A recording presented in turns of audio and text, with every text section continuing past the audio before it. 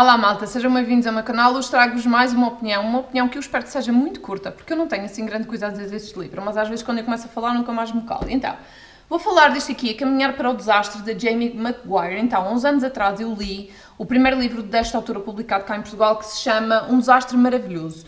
Na altura eu fiquei doida com o livro, dei-lhe 5 estrelas, gostei mesmo bastante. Uh, e tanto foi que logo saiu este, que é o livro a seguir, eu comprei logo. Então, um desastre maravilhoso contra a perspectiva da protagonista feminina, e neste caso conta a, uh, contra, conta a perspectiva do personagem masculino, ok? Então este livro basicamente conta a história de um casal de jovens que se conhece através de amigos que têm em comum uh, e um, sentem uma atração muito grande um pelo outro, mas não se envolvem, principalmente porque a jovem em questão não se quer envolver com ele. Então, nós temos aqui por um lado o Travis uh, Maddox, e uh, que é mais conhecido como Travis Mad Dog Maddox. Ele é um lutador clandestino, uh, ele é oriundo de uma família de vários irmãos mais velhos, é mau rapaz por definição, Todas as noites leva uma mulher diferente para o seu apartamento, porque, pelos vistos, ninguém consegue uh, resistir ao encanto natural e a beleza deste rapaz. E então, todas as noites, ele tem uma mulher nova para comer no sofá, literalmente.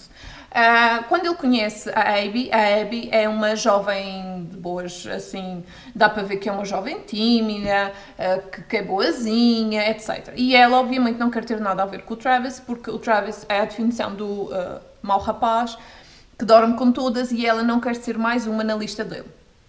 E então é aqui que nós vamos uh, conhecer a história deles os dois, vamos conhecer melhor os personagens, vamos conhecer um bocadinho do background deles, do que é que está por trás, do passado deles, e vamos também conhecer como depois é que eles vão se envolver, porque obviamente eles vão acabar por se envolver.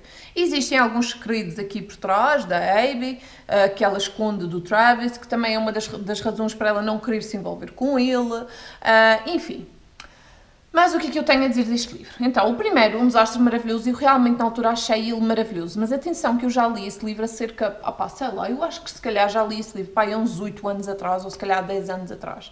E na altura, com 20, 21, 22 anos, eu não era a mesma pessoa que sou hoje. Então há certos livros, há certos comentários, há certas coisas que são escritas nestes livros que para mim já não dá. Como é o caso destes... Uh, bad boys, que são muito sexistas e que tratam as mulheres como putas, literalmente, e eu não tenho paciência para isso, não tenho mesmo. Um, se eu gostei de ler o livro, eu gostei, mas confesso que no fim já estava a desejar chegar ao final, porque é mais do mesmo, não me traz nada de novo, uh, não me ensinou nada. Um,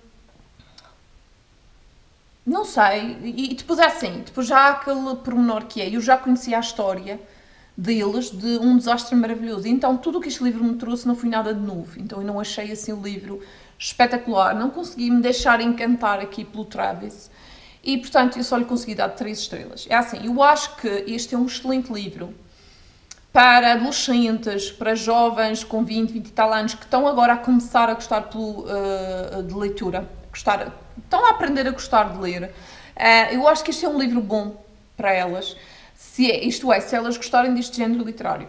Por exemplo, se vocês forem fãs, fãs da, da, daquela série da Stella Mascam que é Preciso de Ti, se vocês forem fãs do After, que agora está a ver filme e agora há muito, muita gente conhece esses livros por causa dos filmes, o After, uh, mas sei lá, tantos que existem por aí.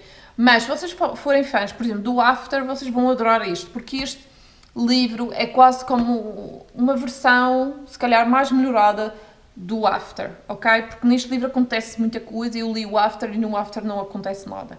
Um, e portanto, se calhar este eu até considero uma versão um pouco melhorada do After, então vocês vão gostar muito dele.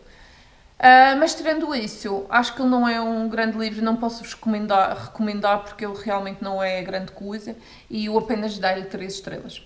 Ok? Espero que tenham gostado da minha opinião e aguardo pelos vossos comentários. Um grande beijinho e até o próximo vídeo.